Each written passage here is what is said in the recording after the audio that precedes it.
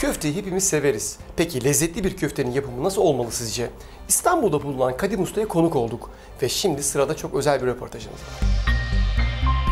Sevgili Altın Rehber izleyicileri, şimdiki durağımız ise Küçükçekmece ve Kadim Usta Steakhouse'dayız. Yanımda da bu güzel mekanın sahibi ve aynı zamanda ustası olan Kadim Ayan var. Merhabalar Kadim Bey. Merhabalar. Kadim Bey kısaca bir sizi tanıyalım dilerseniz. 1963 Tokat Zile doğumluyum. Mesleğe Zile'de başladım 77'de. 77 yılından beri aslında aşçılık yapıyorsunuz. Evet alakart, tabldot, balık. Sonra ete döndüm nedense. Peki Kadim Bey, e, nasıl mesleğe giriş yaptınız? Yani e, birçok ünlü ismi aşçılık yaptınız, eğitim verdiniz, yurt dışında uzun süre kaldınız. Biraz da bunlardan bahsedelim dilerseniz. Aşçılığa 77'de annem elimden tuttu götürdü. Bir meslek sahibi olsun dedi. Alaylı olarak başladık. Daha sonra ilerledi, ilerledi, ilerledi. Önüme fırsatlar geçti, değerlendirdim. Yurt dışına gittim. Eğitim aldım, aşçılık üzerine eğitim aldım. Özel aşçı olarak çalıştım. Ee, yurt dışında devlet büyüklerinin erkanına özel, yani onların aşçılarına Osmanlı ve Türk mutfağı eğitimini verdim. Daha sonra İstanbul'a geldim. Yine özel bir yerde özel aşçılık yaptım. Aile aşçılığı. 13 yıldır yaptım. Daha sonra çocuklarım dediler "Ee, baba bu işi yapıyorsun biliyorsun yani biz de para kazanalım. Böyle butik ufak bir mekan kurduk. Kendilerinin başındayım şu anda. Etlerim özenle seçerim. Özenle hazırlarım. Kendim hazırlarım. Ustam yoktur. Kendim hazırlar, kendim pişiririm. Türkleri yetiştireceğim. İnşallah birin ilk kuşak onlar olur ileride. İnşallah. Ee, Kadim Bey gerçekten e, çok güzel enerjisi olan, güler yüzü olan bir beyefendi. Eminim burada onun etlerine, onun lezzetlerini tatmaya geldikleri kadar güler yüzünü görmeye de gelen birçok müşterisi vardır diye tahmin ediyorum. Peki bu mekanı ne kadar zamandır e, faaliyet gösteriyor? 6 ay bitti 7. aydan gün aldık. Ama her şey yolunda gidiyor.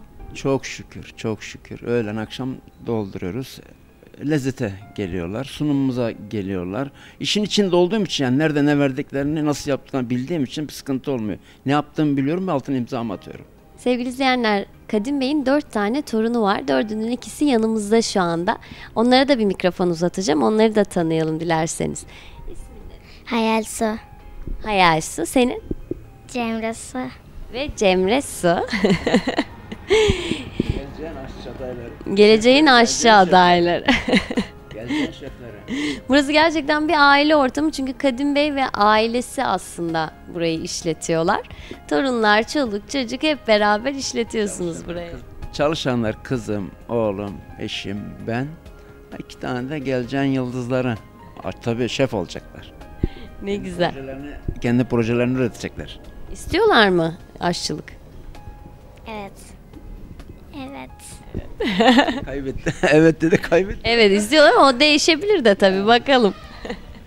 Peki Kadim Bey, e, eminim hani izleyicilerimiz de merak ediyorlardır. İyi etin sırrı nedir? Yani e, eminim hani e, pişim aşamasından öncesi de var bunun. Hani e, bir gelen müşteri etin iyi olup olmadığını nereden anlayacak?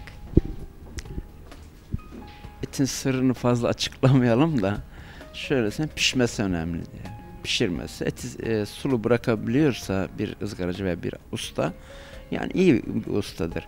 Etin sırrına girersen hepsi özel et bunların. Hayvanın en özel etlerini alıyorsun. Onu da yani eline yüzüne bulaştırırsan yani olmuyor bu iş. Şimdi tadına bakmak için sabırsızlanıyorum. Hatta mikrofonu hayal suya vereceğim. Ee, bir dilim bir et yiyeceğim ben. Sen de bana mikrofon tut olur mu? Ben tadına bakarken yorumlamış olurum. Belki de muhabir olmak isteyeceksin bu saat. Tamam ikiniz tutun hadi.